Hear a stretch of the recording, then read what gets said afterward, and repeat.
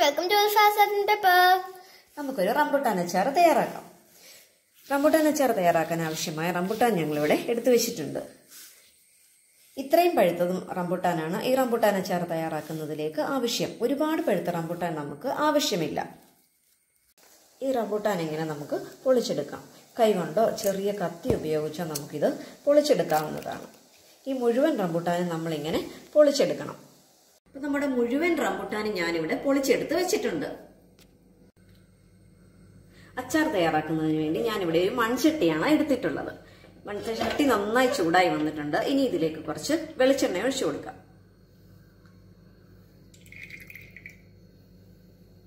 ഈ എണ്ണ ചൂടായി വരുമ്പോഴത്തേക്ക് നമുക്ക് കടുക് ചേർത്ത് കൊടുക്കാം.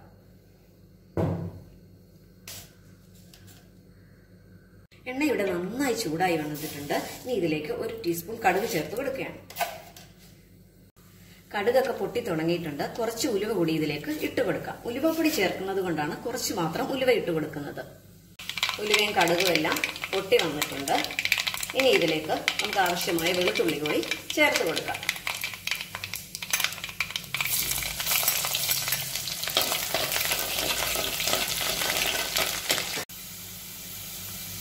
വെളുത്തുള്ളിയുടെ കളറൊക്കെ മാറി തുടങ്ങിയിട്ടുണ്ട്.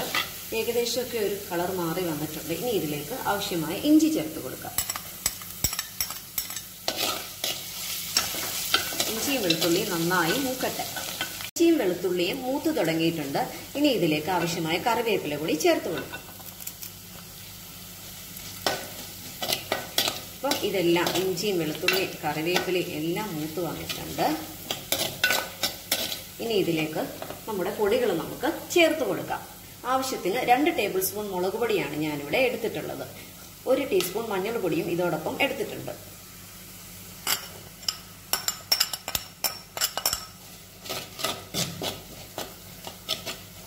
പൊടികളുടെ പച്ചമണം മാറുന്നത് വരെ നന്നായി ഇളക്കി കൊടുക്കണം.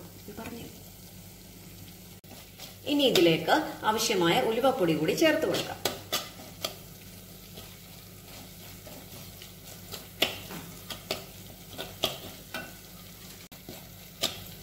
ഒരു ടീസ്പൂൺ കായപ്പൊടി കൂടി ഞാൻ ഇതിലേക്ക് ചേർത്ത് കൊടുക്കുന്നുണ്ട്.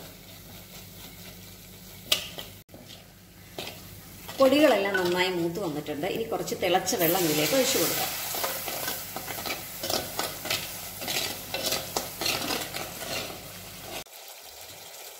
രണ്ട് ടേബിൾ സ്പൂൺ വിനാഗിരി കൂടി ഞാനിതിലേക്ക് ഒഴിച്ചു കൊടുക്കുകയാണ്. അതോടൊപ്പം തന്നെ ആവശ്യമായ ഉപ്പും കൂടി ഞാൻ ഇതിലേക്ക് ചേർത്ത് കൊടുക്കുന്നുണ്ട്. വിനാഗിരിയൊക്കെ ചേർത്തതിന് ശേഷം ഇത് നന്നായി തിളച്ച് വന്നിട്ടുണ്ട്.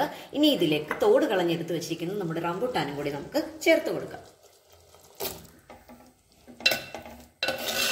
നന്നായി ഇളക്കി മസാലയെല്ലാം ഇതിലേക്ക് യോജിപ്പിച്ച് കൊടുക്കണം. രണ്ട് തണ്ട് കറിവേപ്പില കൂടി ഞാൻ ഇനി ഇതിലേക്ക് ചേർത്ത് കൊടുക്കുകയാണ്. ഒരുപാട് നേരമൊന്നും ഇത് ഇനി നമുക്ക് അടുപ്പത്ത് വെച്ചേക്കേണ്ടതില്ല. ലോ ഫ്ലെയിമിലാക്കി രണ്ട് മിനിറ്റ് കൂടി വെച്ചതിന് ശേഷം ഇത് നമുക്ക് ഫ്ലെയിം ഓഫ് ചെയ്യാവുന്നതാണ്. ഈസിയും ടേസ്റ്റിയുമായ നമ്മുടെ റംബുട്ടാൻ അച്ചാർ ഇവിടെ റെഡിയായി വന്നിട്ടുണ്ട്. ഇതാണ് ഈ അച്ചാറിന്റെ കറക്റ്റ് പരുവം. നിങ്ങൾക്ക് ഈ വീഡിയോ ലൈക്ക് ചെയ്യാനും ഷെയർ ചെയ്യാനും കമന്റ് ചെയ്യാനും സബ്സ്ക്രൈബ് ചെയ്യാനും മറക്കരുത്. Thanks for watching bye